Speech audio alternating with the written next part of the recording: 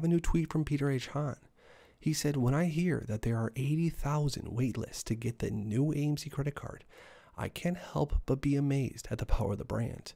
Would it be so powerful if the shorts hadn't dragged this out so long? Probably not. And Peter Hahn has a point there. If this play weren't to have been dragged out this long, I don't know if AMC would have the numbers and the power it has. But drag it they have, and people are going to support any reasonable product that will make the company stronger. He also said I sort of understand why the shorts didn't anticipate this. But unlike Sears, whose cultural impact faded decades ago, AMC is the largest movie chain theater in the world. People love entertainment. They don't want that choice taken away. Because even the corrupt ones, right now Gladiator recognized bread and circuses were key.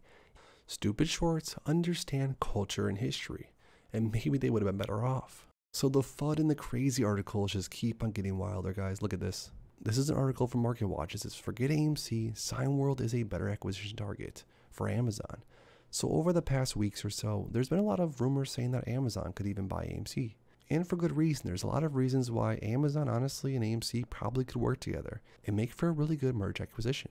That maybe Cineworld is a better acquisition target for Amazon.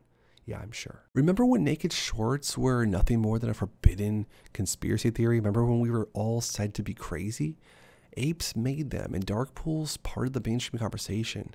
Well, fails to deliver can be associated with naked short selling. It seems like just yesterday that all the AMC naysayers were saying that there, there's no naked short selling going on with AMC. All the apes are crazy. Meanwhile, the apes are creating this narrative off of actual data that we've been looking at for years now. And Adam Mayer and the regulators are going to need to give us some answers very soon here. With the per patron spending at all time high and the box office earnings at almost 100% since pre lockdown levels already, and June forecasted to earn 500 million, it's apparent that theaters are strong and that there's a very strong and bright future for AMC.